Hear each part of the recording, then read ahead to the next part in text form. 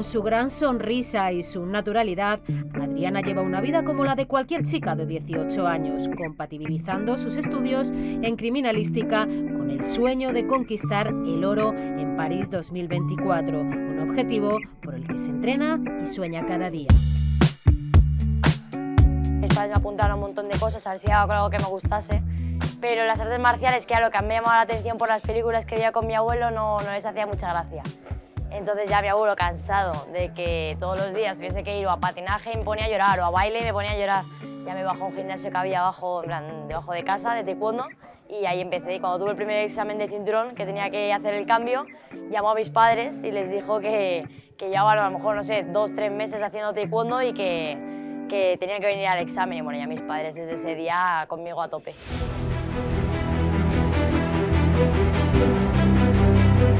Yo sabía que me presentaba cualquier otra cosa, a tenis no prestaba atención, no hacía caso, eh, a gimnasia rítmica igual, a patinaje igual, y fue llegar a taekwondo, que tú dirás, haríamos clases de niños, pues serían juegos, pero yo lo que no quería era salir, no quería salir del gimnasio y era lo que me encantaba y era donde quería pasar todo el día.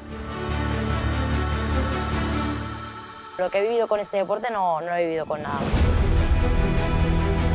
Adriana ya comenzó con cuatro años a hacer taekwondo, pero vino con nosotros con la edad de 11 años ya.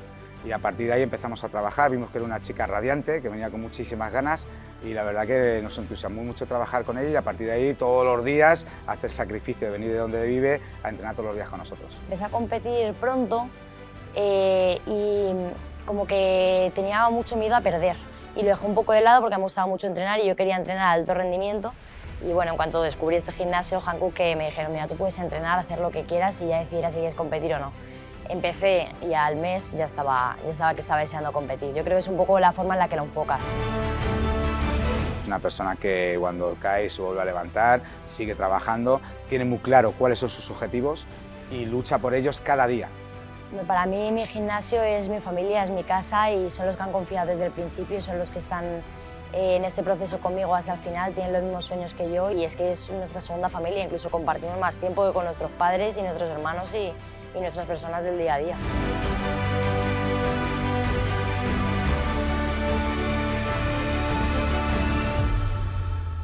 Eh, Adriana Cercero pasó bastante peor los exámenes de selectividad que en los Juegos Olímpicos. Bueno, tampoco lo llevé con mucha presión porque es verdad que me había preparado muy bien durante todo el curso, tenía buena, buena media de bachillerato, y iba sin presión, entre comillas, a, los exámenes. Me lo fui preparando como pude y bueno, yo creo que también el ir sin esa presión que hablamos me hizo que, que me fuese bastante bien. Quería hacer algo que me gustase y que me llamase la atención, como lo del CSI, que está en las películas, en cuanto vi que existía esta carrera, además al lado de casa, que yo estudio en Alcalá de Henares, pues eh, dije, está, está hecha para mí.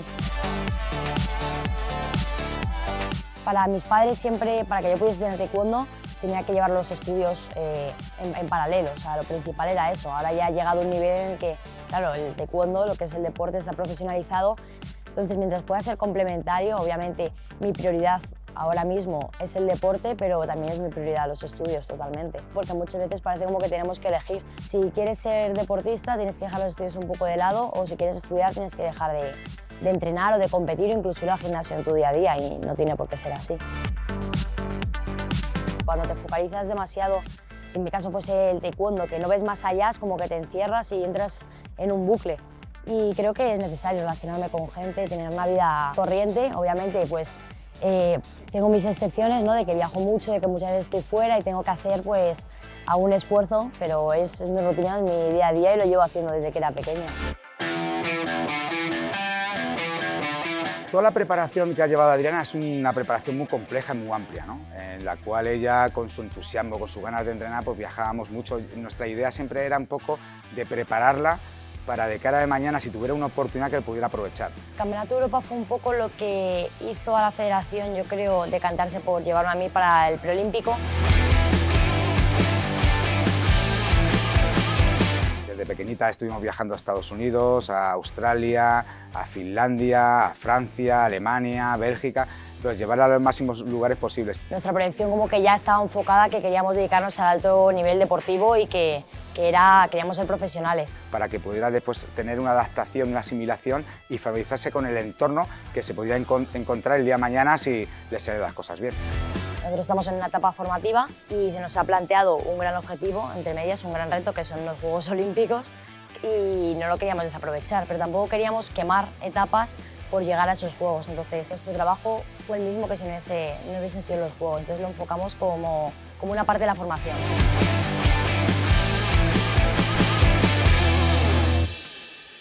Los juegos nunca sabes con quién te va a tocar. Parece que el cuadrante va a estar muy claro porque esta supuestamente es mejor que la otra, pero en los Juegos Olímpicos todo, todo te cambia en un momento, hay muchísimas sorpresas, entonces será ir poco a poco y, y desenvolvernos, poder sacar todo lo que habíamos estado haciendo antes. Su actitud y el cómo interpreta todas las cosas es cada día.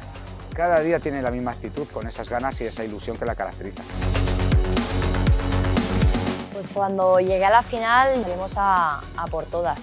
O sea, ya tienes la medalla de plata asegurada, que al momento es un subidón, pero enseguida, en cuanto bajé el tapiz, ya dices, es que ya está, mi cabeza ya no puede estar en lo que he conseguido, tiene que estar en, ese poquito más, ¿no? En, en, ese último combate que queda. Nos quedó muy cerca, pero nuestro objetivo era el oro. Para nosotros fue una sorpresa porque después hay que hacer las cosas, pero la verdad es que venía con ese ímpetu, con esa energía y era una, una deportista que iba ascendente, ¿no? Entonces, mm, sorpresa sí, pero no lo podíamos esperar. Cuando te has visto tan cerca que lo tenías y y lo has perdido y el otro día te quedas como con, con, ese sabor de boca. Yo esa final la hago antes de irme a dormir, mientras estoy durmiendo y cuando me levanto todas las mañanas. O sea, y todo el mundo te dice, no, con el tiempo, mentira, llevo un año y medio y con el tiempo no se pasa esa sensación, pero tampoco quiero que se pase. O sea, yo creo que ese poquito que quedó ahí es eh, el hambre que tengo que seguir teniendo para, para el futuro y para los próximos objetivos, que no se puede escapar y se escapa, que no sea por lo mismo. Creo que todo pasa por algo y esperemos que, que sirva aprendizaje para el resto. No me queda otra cosa que decir. Creo que todavía queda mucho para, para poder ser referente de, de, nadie. Me gusta seguir siendo la joven que va con hambre detrás, seguir siendo la promesa, porque creo que todavía quedan muchísimas cosas por ganar, por hacer, para hacer historia y es un paso muy importante. Por supuesto, una medalla olímpica ya es, es un sueño cumplido, pero todavía quedan muchos más sueños por delante que, que tenemos que, que conseguir.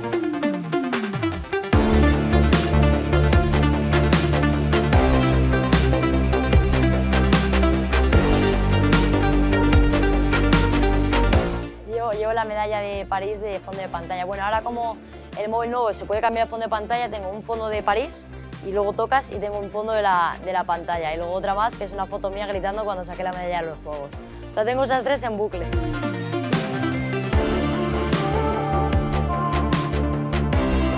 Bueno, mi abuelo falleció hace, bueno, yo tenía cinco años, o sea, no, pudo, no ha podido vivirlo pero estoy segura, vamos, le habría, le habría dado algo, lo habría, lo habría vivido un montón porque lloraba por todo, se emocionaba por todo y estoy segura de que, de que con esto no habría sido menos.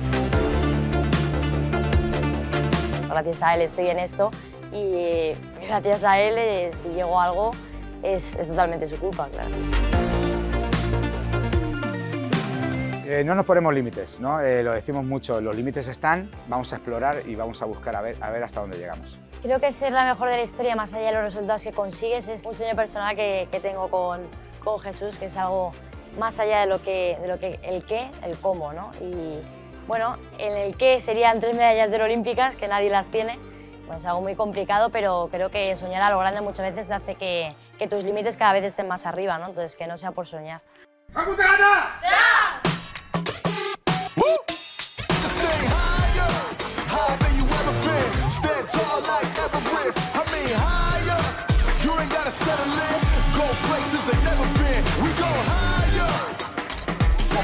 tough even when a ball drops. My man